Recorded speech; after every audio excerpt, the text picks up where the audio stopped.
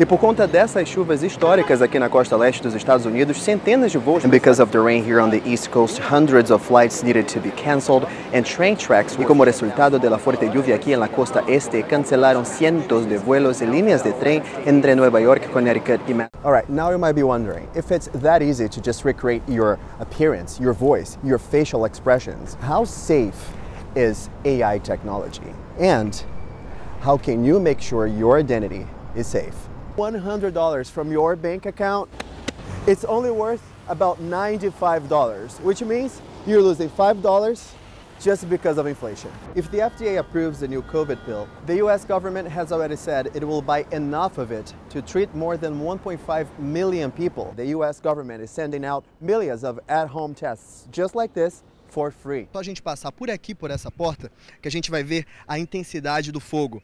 Segundo informação dos moradores, esse problema já está aqui há mais de dois meses. Julho do ano que vem. E eles não estão sozinhos.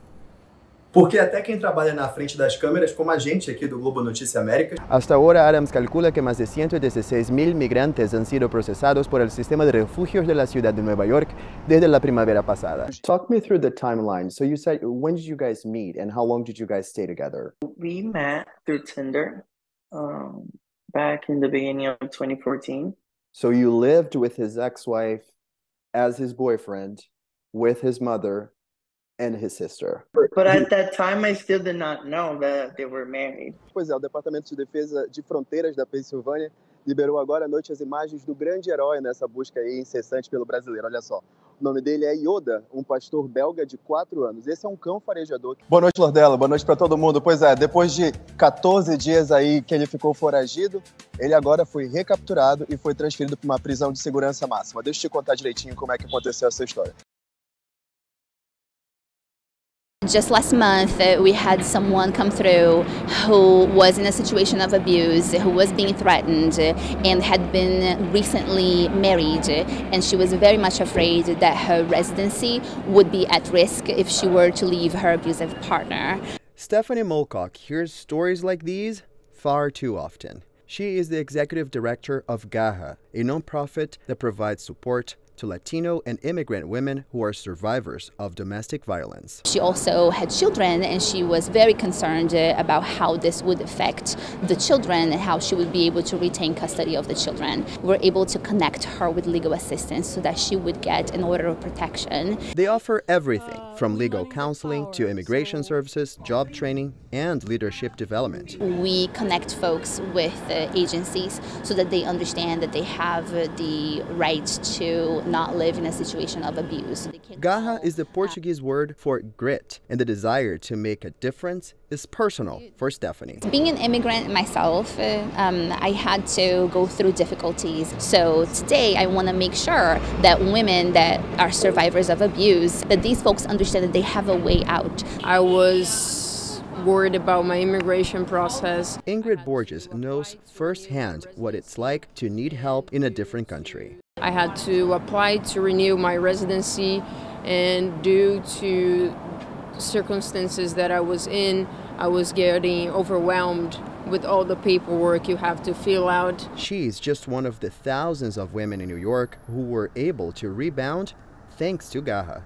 The work is important and necessary for the community. A lot of us, we might don't speak the language, and then immigration, the, the laws, everything, you need someone to assist in you. The organization also recognizes how far each survivor has come. They celebrate every year the Women with Garra Awards. Along with the honor, they also get a book showcasing their own stories. It also serves as a reminder that with Garra and community support, each survivor can achieve their dreams. It's important for Latinx women to be able to design their own narrative.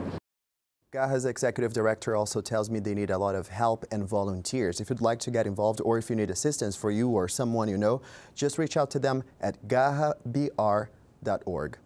In the newsroom, Geovany Dias, Pix 11 News. Imagine you could live forever, or maybe go back in time and ask your parents, grandparents, great grandparents about their lives, their experiences. Well, that's now a possibility thanks to a new concept called Storyfile, and it's powered by, you guessed it, AI. Take a look. I'm so pleased that I met so many good people who influenced my life, and I had. This is Marina Smith responding in video and interacting with her loved ones. And I feel it's coming to conclusion. Sounds like a pretty normal video chat conversation, except for one thing. This is her funeral. The video you see here is generated by AI. And I've seen my sons doing great things and leading. She was the mother of Stephen Smith, creator and CEO of Storyfile. My co founder and wife were concerned about the preservation of Holocaust survivors. How do we ensure that important piece of history is preserved for future generations? We wanted to be able to have a conversation with the past. I hadn't planned to bring my mother's story file to her funeral. We buried her and then everyone got around and was saying beautiful things about her. And towards the end of it, I said, I'd love to ask mother a few questions. And everybody just, there's Marina. And her smile and her personality, the one that everybody was missing in that moment. What's your story? My name is Hank Thomas, former Freedom Rider. Through an extensive library of content fed in by the user, Storyfile uses real-life expressions, mannerisms, and even accents to generate high-definition video responses. You ask a set of questions. The person answers those questions. And in the answers are lots of things that are not the original question. You could ask me, where were you born? And I will say, I was born in Derby, England. Oh, and by the way, that's the home of Rolls Royce, and they have an amazing soccer team. And then suddenly I'm talking about other things other than where I was born. So what the AI is doing actually, it's not creating new content. What it's doing is looking through all the content that's there and then bringing back from that content what you're looking for. Actor and comedian William Shatner created his own story file, and you can interact with him on the company's website. All right, now let's put this AI technology to the test. I'm gonna ask a couple of questions to this machine and see what it can do. What is your name? My name is William Shatner. Fair. How about, how old are you? Uh, so I was born in 1931, and you do the math. Okay, fair enough, very direct. Let's try something more complicated. How about, what do you think about AI technology? This whole thing is the future. To be able to ask a favorite person, present day. No, that's impressive. Even now you might be wondering, how safe is it? Every story file is private by default.